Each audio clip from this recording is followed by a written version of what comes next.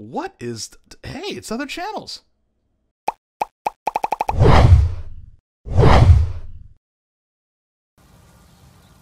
Hey everyone, Matt here, Home Farm Ideas, and today I wanted to do a little update on uh, my aquaponic testing.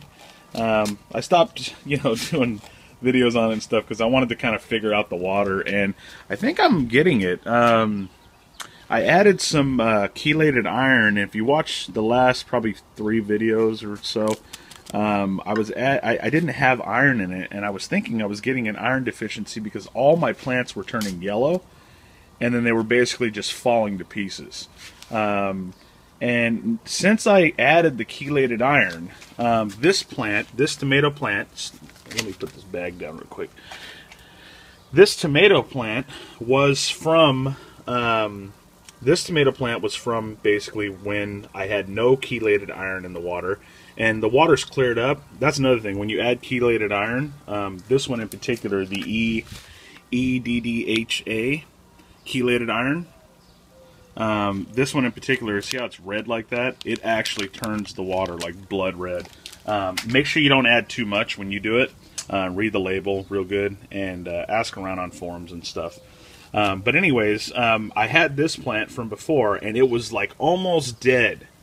And then um, I added that chelated iron to it and it started to root and um, the leaves, as you can tell, see if you look at the other plants that I put in versus this one, you can still see these are still a little yellow, and it's not getting a whole lot of growth. This one in particular, um, and it's weak too. I mean, it's it's still weak from uh, you know from the uh, from when it didn't have any chelated iron in there.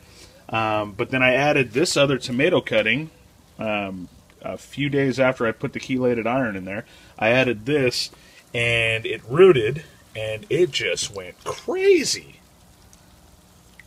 So I, I would say I'm I'm getting uh, success now. Um, anybody that knows about this stuff, obviously, tell me. But I would say I'm getting success now in um, the water actually working. Um, you know, the plants being able to take up nutrients and all that stuff. Uh, yeah, see, it's work. It's uh, the roots are coming out on these plants, but it's it's holding its um, it's holding its basically nutrient level. Um, I think the leaves look pretty good on this tomato plant here. Um, so I'm thinking I'm thinking I'm ready to actually start building, and I want to basically build some beds right here. I want to build, uh, you know, some uh, half barrel probably grow beds, and uh, so anyway.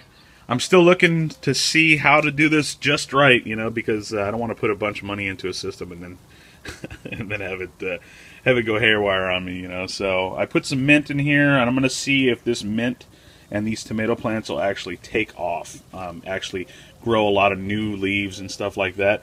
Um, this one was actually growing uh, new foliage right here. This is new, and right down here, that's new as well. Okay, but I had a root system on it just before I started doing this video, and I accidentally cut it off.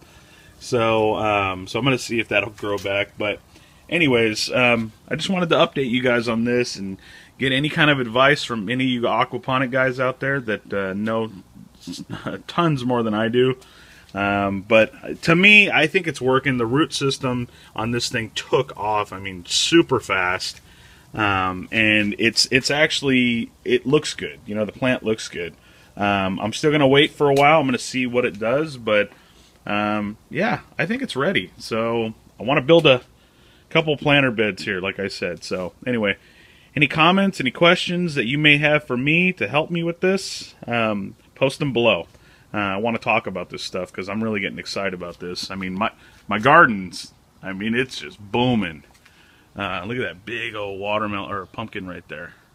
So you see it, and then I got. Uh, well, I'm not gonna take you too far into my garden here, but I got a bunch of stuff growing back here: pumpkins, potatoes, tomatoes, all on the back wall over there, over there.